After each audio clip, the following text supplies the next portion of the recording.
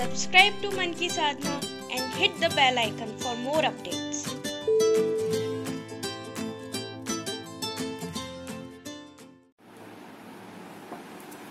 Hello friends मन की साधना channel पर आपका स्वागत है। फ्रेंड्स मैं हूँ साधना। मेरा आप सबको प्यार भरा राधे राधे। फ्रेंड्स फ्लावर बनाने के लिए एक ये मशीन चाहिए। ये देखिए, ये मेरे पास लोहे की मशीन है। ये मैंने बहुत पहले इससे फ्लावर बना के और एक जैकेट बनाई थी। आज मैं वही फ्लावर आपको बनाना बताऊँगी। ये देखिए। और ये गोटा।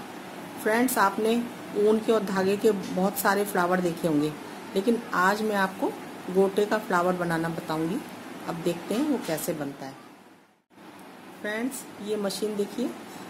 ऐसे बंद हो जाती है और ऐसे इसके ये तार निकल आते हैं। इसी पर अब हम गोटे का फ्लावर बनाएँगे। सबसे पहले गोटे को यहाँ रखेंगे और इस पर ग्लू लगा लेंगे। ये देखिए। ग्लू लगा लिया।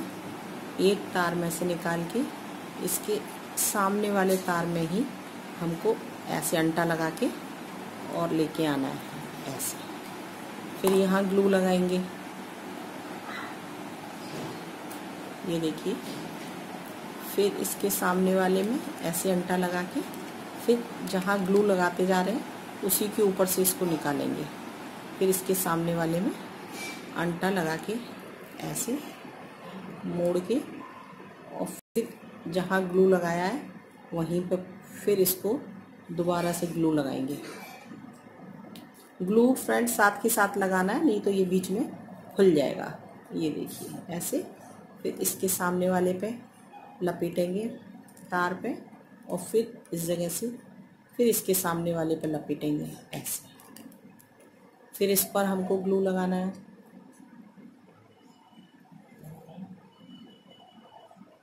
ऐसे। ये देखिए। ऐसे। अब इसके सामने वाले पे तार पर लपेट के फिर इसको सीधे फिर लेके आएँगे यहाँ। फिर इसके सामने वाले पर लपेटेंगे। अभी मैं इसको पूरा करके आपको दिखाती हूँ। फ्रेंड्स, ये देखिए, पूरा फ्लावर मैंने तारों पे बना लिया है। अब इसको हम यहाँ से कट कर देंगे, थोड़ा बड़ा, और यहाँ पर ग्लू लगाकर ये देखिए और इसको भी थोड़ा सा हम फोल्ड कर लेंगे गोटे को। थोड़ा बड़ा काटा है हमने। बड़ा काटने के बाद इसको इसी के ऊपर चिपका देंगे। और फ्रेंड्स, जब तक इसको सूखने देंगे जब तक इसको नहीं निकालेंगे, तब तक ये सूख नहीं जाएगा। नहीं तो ये सारा उधड़ जाएगा, निकल जाएगा। फ्रेंड्स, देखिए, ये सूख चुका है। अब हम इसके तारों को अंदर कर देंगे। ये देखिए।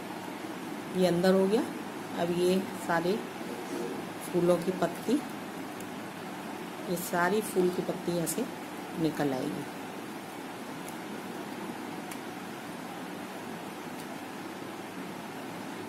आराम से निकालेंगे, क्योंकि पीछे ग्लू लगा हुआ है। ये खुल ना जाए। ये देखिए फ्रेंड्स, ये हमारा फ्लावर तैयार है। ये देखिए, और ये देखिए। अब हमारा ये फ्लावर बिल्कुल तैयार है। फ्रेंड्स अगर आप चाहें तो इस पर मेरे पास कुछ मोती रखे हैं। इनको मोतियों को भी इसके ऊपर थोड़ा लगा सकती हैं। ये देखिए कैसे, मैं लगा के दिखा देती हूँ आपको। ये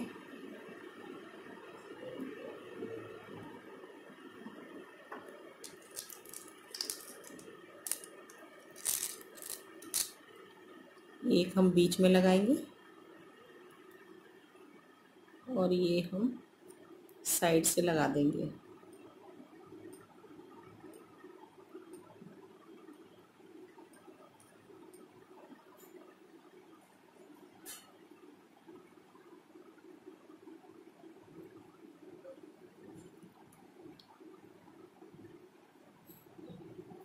ये देखिए फ्रेंड्स ये देखिए। इस तरीके से आप इसको डेकोरेट भी कर सकते हैं। और अगर आप चाहें तो इनके साइड से भी यहाँ एक एक मोती लगा सकते हैं। ज़्यादा हैवी लुक हो जाएगा और अच्छा लगेगा। ये आप अपने चॉइस के अनुसार कर सकते हैं कि आपकी चॉइस कैसी है। आप उसी हिसाब से इसको लगा सकते हैं। फ्रेंड्स अब इसको हम सूखने देते हैं। फ्रेंड्स अगर आप इन मोतियों को और मज़बूत करना चाहते हैं तो आप सुई धागे से इनको टक कर लीजिएगा, सुई धागे से लगा लीजिएगा और मज़बूत हो जाएगा ये। कहीं निकलेंगे नहीं। और फ्रेंड्स, देखिए ये मैं पास से दिखा दूँ आपको, कितना सुंदर फ्लावर लग रहा है। आप इसको कहीं भी यूज़ कर सकते हैं। दुपट्टे पे कर सकते हैं, भगवान जी की पोशाक पे कर सकते हैं, और भी पर्स वगैरह पे कर सकते हैं। जहाँ आप चाहें, वहाँ इसको लगा सकते हैं।